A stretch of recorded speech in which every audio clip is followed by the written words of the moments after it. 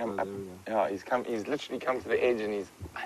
If you move, now if you look at the monkey, there he is, and he, he looks at us. Now, if I emulate his behavior, they generally do it straight back at you. See, if you move your head, there we go. so when you see a move like that, I'm doing the exact same thing.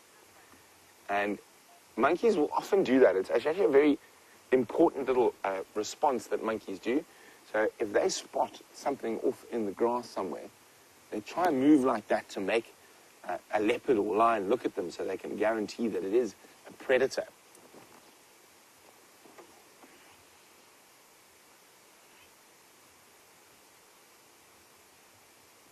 At the moment, he's eating some nice fresh shoots of the jackalberry, but disappearing.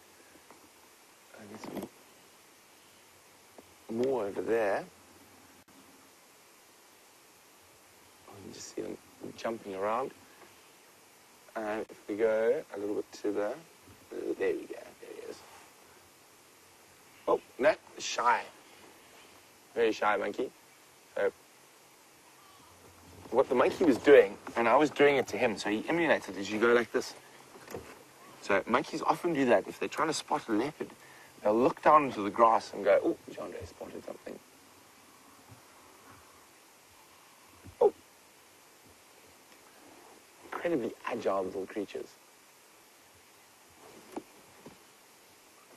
Um, and if, I'm sorry if I affect Jandre's cam work, it's me moving to try and make the monkey come look at us. There we go.